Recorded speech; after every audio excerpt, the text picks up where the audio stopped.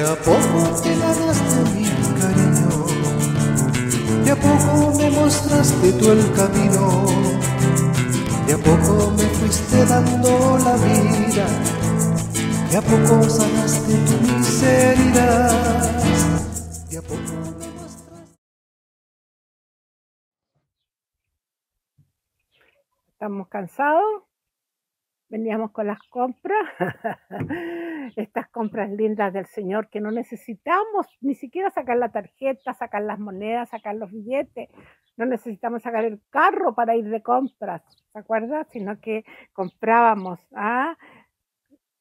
lo que era lo importante para el Señor, lo que necesitábamos para el amor. Bien, hoy día vamos a ver qué vamos a hacer con eso que compramos. Pero primero, como siempre, si la palabra de Dios, exacto, tú ya lo tienes listo y ya tú lo haces en tu casa.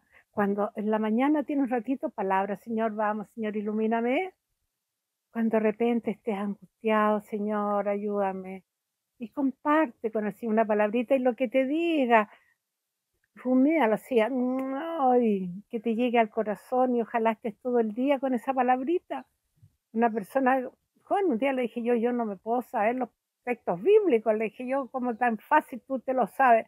Entonces me dijo, me hice un propósito, una semana un texto bíblico. Por ejemplo, como yo sé que el amor, 1 Corintios 13.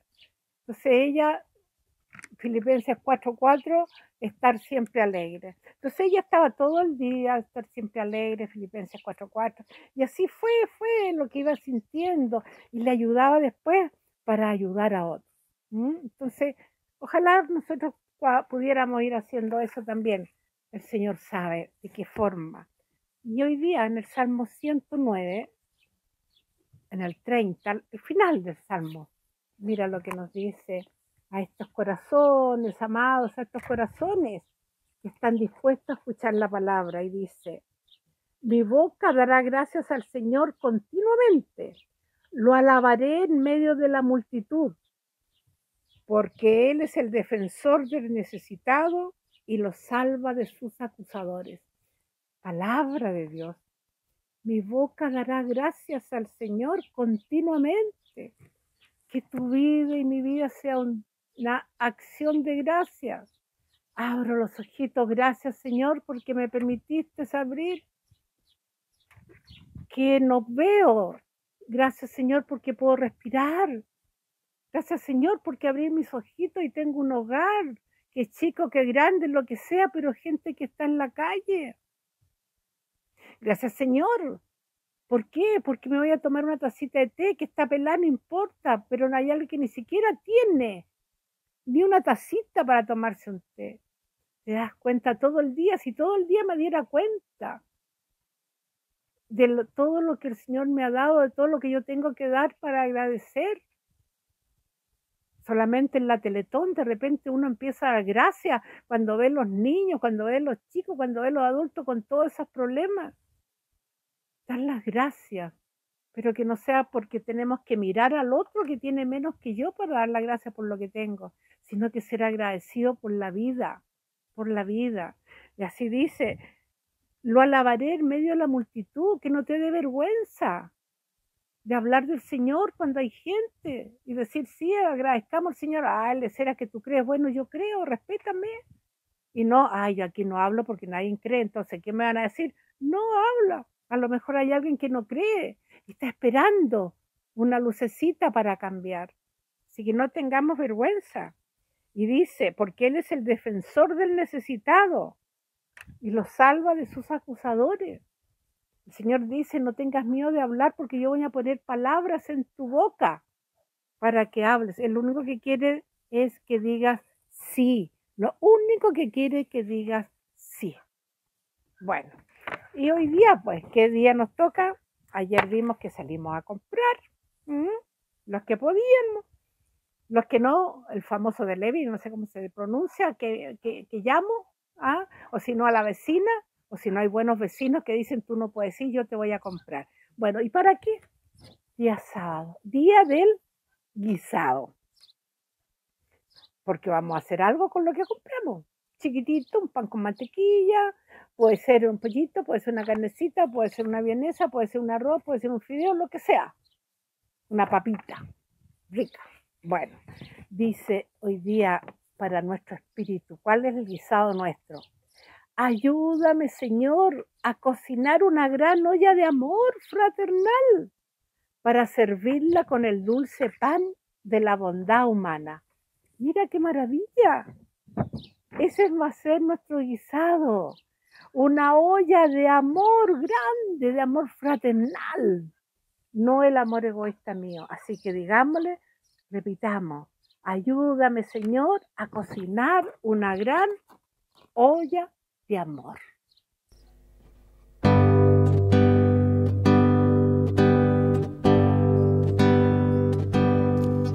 Que me digan las estrellas cómo tengo que adorarte. Que me digan las montañas, los océanos y los valles. El alto cielo, los ángeles y los santos, donde esconden el secreto de su voz y de sus cantos. Yo quiero aprender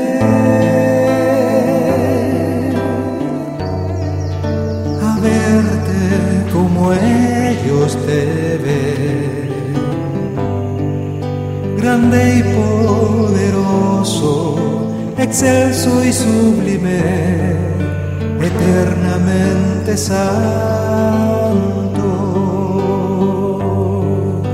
Yo quiero aprender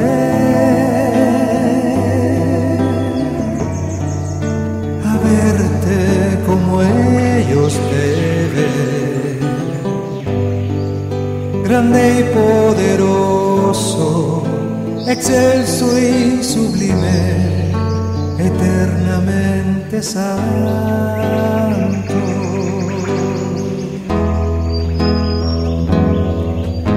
me digan las estrellas como tengo que adorarte. Que me digan las montañas, los océanos y los valles, que me diga el alto cielo, los ángeles y los santos, donde esconden el secreto de su voz y de sus cantos. Yo quiero aprender verte como ellos te ven, grande y poderoso, excelso y sublime, eternamente santo. Yo quiero aprender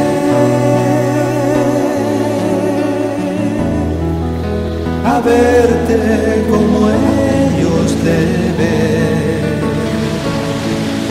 grande y poderoso, excelso y sublime, eternamente santo.